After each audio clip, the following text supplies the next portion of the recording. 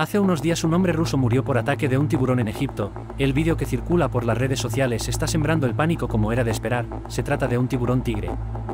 Te preguntarás por qué se acercan los tiburones a la costa, se sienten atraídos por gente que alimenta a los peces, incluso a los mismos tiburones, por pescadores costeros o por la sobrepesca que obliga a los tiburones a buscar zonas alternativas.